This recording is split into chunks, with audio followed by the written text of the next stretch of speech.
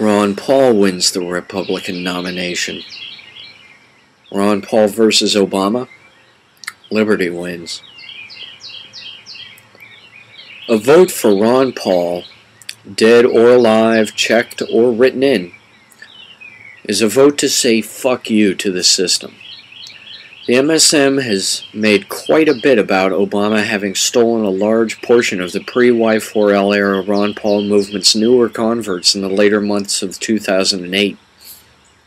After Ron Paul conceded, when it looked like the only options to elect for president were either Barack Hussein Obama, Democrat, or John McCain, a warmongering racist bigot Republican for who would follow the by then massively unpopular W. Bush administration. Obama was clearly the lesser of two evils against McCain, and he would be again against Romney. However, both in 08 when I wrote Ron Paul in on the ballot, and now in 12, Ron Paul could, can, and God willing will beat Barack Hussein Obama hands down. He does in most statistical data sets when they're polled head to head.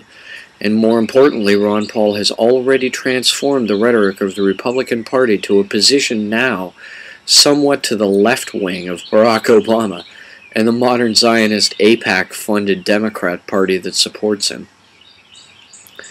Ron Paul does not just want peace in our time. He is, and has been for many terms now, demanding peace now. That is bold and daring, and it takes brass balls too big to be busted by even Sacha Baron Cohen dressed up as Bruno, which, by the way, Ron Paul happens to have. The MSM prey around Ron Paul like vultures, and it is our fucking duty as the American people to tell those pricks to go fuck themselves. They are the same stuck-up snobs you didn't like in high school, and now they run your government, own every network on TV, and broadcast their own version of the truth on their cable network news media channels.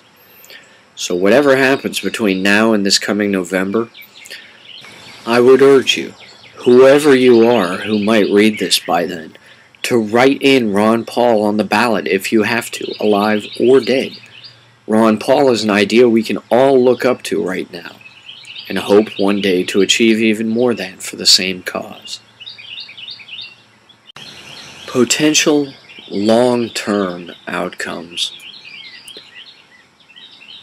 Romney, Obama, and Ron Paul all believe they are doing what is good and right and just from their own point of view. Romney and Obama share the same point of view. Both want bigger government and more war. Romney wants to expand the wars and Obama the welfare, but both want the government to go hat in hand begging for that money for their programs to the Federal Reserve privately owned U.S. Central Bank and borrow it. They collect it back from us in taxes, but they fund their programs first. That's the way it goes. Either you think welfare is a lesser evil, or you think that war is for the greater good. There are no compromises on this matter in Washington, D.C. Both parties are backed by the big banks who are owned and operated as FDIC-insured member banks of the Federal Reserve System of the USA. Both parties advocate the same thing, only using different reasons to justify doing it. Either we want to kill someone or we want to help someone, but even if the person or people we our killing and funding are the same as with the government and the people of Pakistan being loaned aid to and drone bombs simultaneously. Their tactic is to make the government at all levels bigger and bigger by making up new laws and new departments and to pay for it using the Federal Reserve's worthless pretend money. Then the Fed expects to be paid back for their loan of this counterfeit crap and so the government turns around and takes the taxes out of every citizen's paychecks. Make taxation voluntary. The only way to get money out of politics is to not pay taxes. However, it would be wiser to follow Ron Paul's Restore America Now budget plan. In the first year, he has attritioned out five federal departments and by reselling the auto industry's private shares bought out by the federal government under TARP, and by allocating 100% of the first year's taxes to paying down the federal debt the U.S. government owes the Federal Reserve, he will avoid cutting any of the mainline welfare or warfare departments and manage to balance the budget to zero debt by the end of the first year and the beginning of the second. By tax season 2014, you might not even have to pay taxes. All you have to do is vote Ron Paul. Neo feudalism under corporate monarchies polluting a collectivist dystopia. Imagine a second term with Barack Obama as U.S. President, Joe Biden as Vice President, and Ben Bernanke as Federal Reserve Board Chairman. Imagine a first term of a Mitt Romney presidency with Rand Paul as Vice President and anyone, even Ron Paul, as Federal Reserve Board Chair. Firstly, I could not imagine Ron Paul accepting that post on the grounds that, to quote myself, if Einstein runs for president of the free world, you don't appoint him head of designing new bombs instead. A vote for either Obama, with whoever is vice president, or for Mitt Romney, even if Jesus Christ himself or his running mate is Veep, is a vote for the same thing Goldman Sachs, a Wall Street investment megabank. They have donated the majority of their campaign contributions to both Obama and Romney. Both Obama and Romney are two sides of one coin, and this coin is non refundable. If either Obama or Romney wins, there will be a global economic downturn, the likes of which no one has ever seen before on this scale. Breadlines will form in all nations as hyperinflation makes staple goods unaffordable Revolutions will take place across the planet. In every major city, there will be uprisings against the local governments. Riots and looting will raze all we have worked so long to erect. Massive toxic pollution will occur as the infrastructure for our fossil fuel energy industries begins to rust. And eventually, plagues will spread from lack of sanitation. New human targeting diseases will mutate. Starvation will overtake many some might foolishly seek shelter in the deep underground military bases, the DUMBs, or attempt to implement global martial law. It will be too late to save our species, and we might take the entire planet Earth down with us. If either Romney or Obama wins, to quote Gerald Celente, we lose. Libertarian anti taxation pro gold redistribution, anti corporatist utopia. What is wealth? Wealth, most agree, is all your property, all your resources. But you would never trade some things you own. Those are your savings, what you want to keep with you. The rest is merely fodder for the ever circulating free market. Now, among all the rest of your assets that you would be willing to trade from, wouldn't it be great if you had just one thing that you could trade in instead of trading away all your collection of different goods? Well, when they ask you at the grocery store if you want paper or plastic, and you unthinkingly reply your preference, you should think about the question what is money? What works best as money? What is the difference between different forms of currency? The matter of gold is too complex to debate here, but suffice it to say there are enough planchette factories now in operation to mint enough gold coins for at least the amount of circulating paper cash currency in the U.S. market by tax season 2014. All you would need to do would be to vote Ron Paul.